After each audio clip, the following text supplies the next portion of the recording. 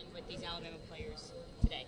Well, they're all well, well coached, uh, you know, well conditioned, uh, well taught in the, the, game of football. So they, have all been very impressive, and uh, um, you know, I think they have bright futures ahead of them. How many of these pro days have you been to so far, and how many do you plan to travel to? Well, this is actually my first. Uh, I don't get involved a whole lot. Uh, I'm going to one other one uh, later in the week, and uh, after that, that's about all I get out. Uh, Nick's a, a, close friend and you know, guy I have a great respect for. So I try to get around to see uh, you know his teams in the past, and of course he had a very good one here last year.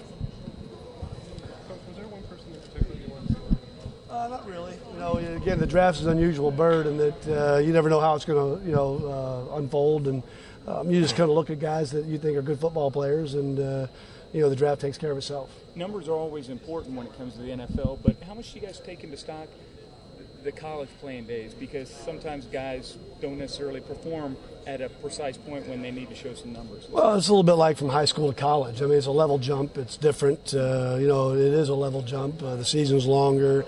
You know, the NFL's built to be you know, competitive and have parity throughout. So uh, it's a little bit different. I'd liken it a little bit to a good high school player you might see whether or not he's going to make it at Alabama or not.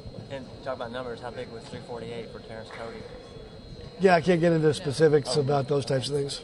All right. Thanks, Thanks guys.